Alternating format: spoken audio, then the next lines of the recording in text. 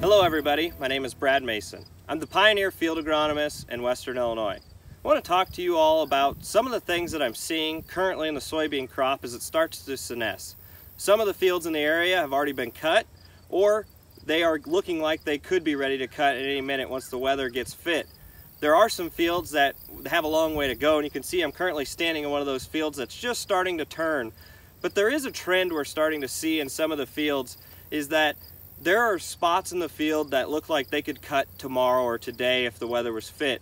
But there's other areas in that field that still have green leaves, the stems are green, but the pods are ready to be cut. They're at the right moisture.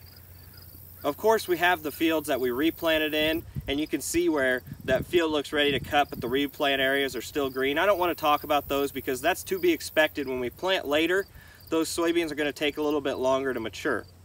I want to talk about the fields where we planted the same day, the same variety, and we're still seeing those areas that we're having issues where those beans are still holding on the leaves and the stems may be green. What we typically see in those areas is something we call green stem syndrome what that entails is basically is we have a plant here and the pods, and this, this plant isn't exactly the best example, I'll show you in a picture here. You'll see that the stems are green. There may be some leaves still on the plant, but the pods are at the right moisture. They're dry, they're ready to be harvested. That is probably the biggest concern. We have beans that are ready to be shelled, but it's very easily to look at them and say, you know what, they're not ready to cut because the leaves are still on them, the stems are still green.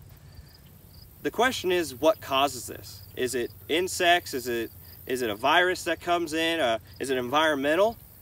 Uh, the biggest thing is there could be several things that cause this. There, there has been some research done that says maybe some insect feeding can stress that out.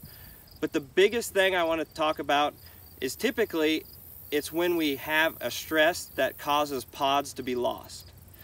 When we get into some of these planting dates where we went through a massive amount of stress, and a lot of it's actually the stress we went through in July when most of the area went with maybe a quarter to half an inch of rain when we were going post-flowering, we were going into those pod setting stages, we went through a drought stress and caused that plant to most likely lose some pods.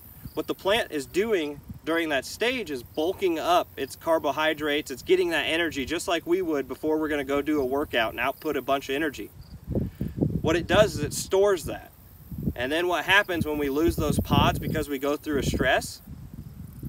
We have excess carbohydrate, excess energy, and we need to do something with it. So what that plant does is that plant will hold on to it and keep those stems green, keep that plant alive, but everything is ready to be harvested.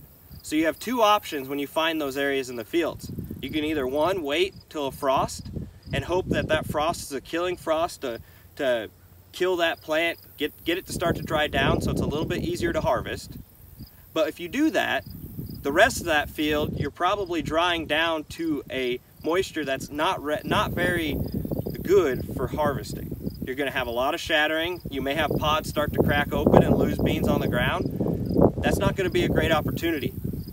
Unfortunately, probably the best opportunity is to make sure you have a sharp sickle and you go out there and you take your time and you grind through those green areas because those beans most likely are ready to be harvested because they're at the right moisture. The pods are, the beans are. It's the plant itself that's not. So make sure you're taking a look at those areas. Make sure you're doing the right things in those areas to, to do the best for the bean plant and hopefully for your yield at the end of the day. I hope you all have a safe harvest and thanks for watching. That concludes this Pioneer Growing Point Agronomy video podcast. Visit our page on pioneer.com and follow us on Twitter and Facebook for more agronomy insights.